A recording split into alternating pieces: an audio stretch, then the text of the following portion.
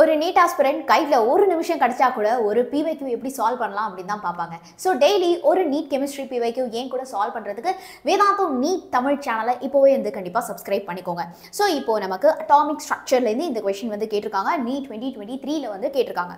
So என்ன கேட்குறாங்க? The incorrect set of quantum numbers வந்து என்ன அப்படின்னு வந்து கேட்குறாங்க. ஃபஸ்ட்டு குவாண்டம் நம்பர்னா என்னடா?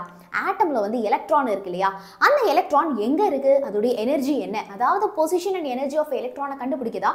நம்ம வந்து இந்த குவாண்டம் நம்பர்ஸை தெரிஞ்சுக்கிறோம்.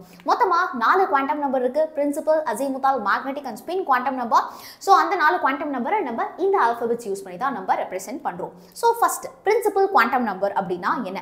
ஒரு எலக்ட்ரானோட எனர்ஜி லெவல் அதுக்கப்புறமா அந்த ஷெல் சைஸை நம்ம இது மூலமாக வந்து தெரிஞ்சுக்கிறோம்.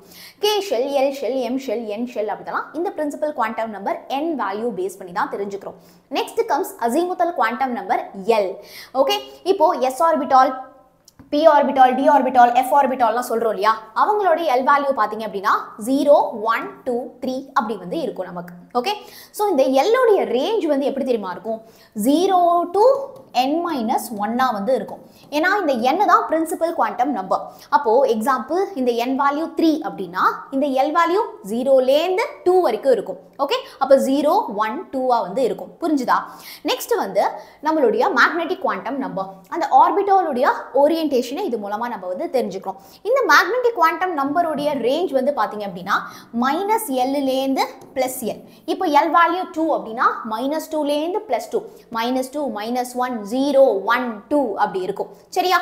அடுத்து spin quantum number spin quantum number அப்படிங்கிறது அந்த எலக்ட்ரான் வந்து எப்படி ஸ்பின் ஆகுது அப்படின்னு நம்ம தெரிஞ்சுக்கிறோம். ஸோ இதோடைய வேல்யூ வந்து நமக்கு plus half and then minus ஹாஃபாக வந்து இருக்கும்.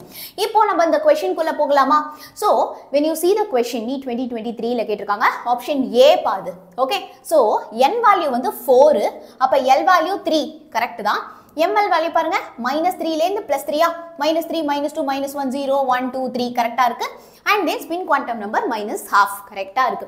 இப்போ ஆப்ஷன் பி பாருங்களேன்.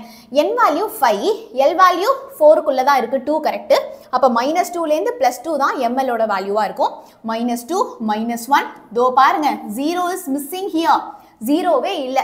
ப்ளஸ் ஒன் டூ அப்படி இருக்கு. சரியா? அப்போ ஜீரோ மிஸ் ஆகிறதுனால ஆப்ஷன் பி தான் இன்கரெக்டான set of quantum numbers so இந்த கொஷின் உங்களுக்கு ஈஸியாக இருந்ததா அப்படின்னு கண்டிப்பாக கமெண்ட் பண்ணுங்க. எத்தனை பேருக்கு இந்த சீரியஸ் ரெகுலராக வேணுமோ எல்லாருமே எனக்கு கமெண்ட்ஸில் சொல்லுங்கள் ஸோ டெய்லி ஒரு பிவேக்குவை ஈஸியாக நம்ம ட்ரிக்ஸோட சால்வ் பண்ணலாம்.